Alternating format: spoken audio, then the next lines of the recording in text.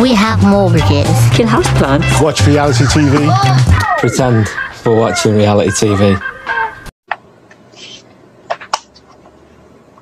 Yep.